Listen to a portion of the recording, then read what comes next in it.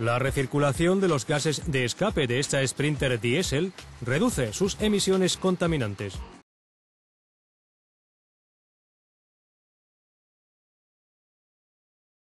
Un funcionamiento incorrecto de la válvula de recirculación puede redundar en una marcha irregular del motor.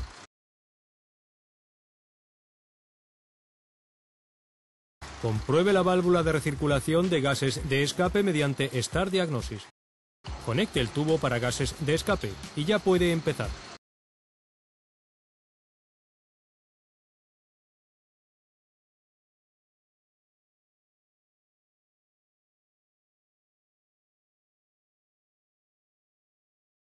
Seleccione su vehículo y efectúe primero, como es habitual, un test breve.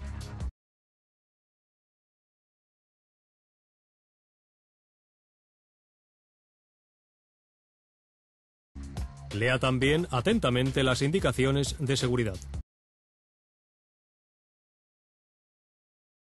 En la lista de opciones de comprobación, haga clic en la comprobación automática de la recirculación de los gases de escape. Asegúrese de que se cumplan todos los requisitos para la comprobación. Desconecte también los consumidores secundarios.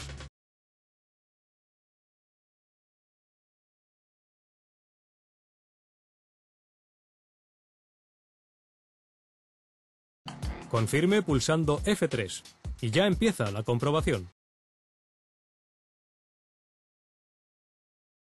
Al cabo de 5 minutos se llevan a cabo automáticamente los 5 pasos de la comprobación.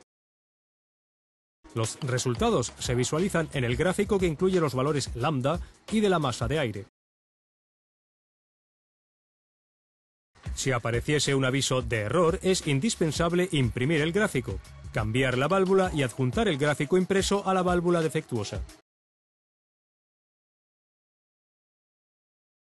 Pero en esta Sprinter todos los valores están en regla.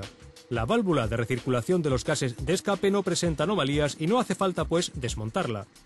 Al ser así, se debe concluir esta comprobación y efectuar otras comprobaciones destinadas a localizar la avería.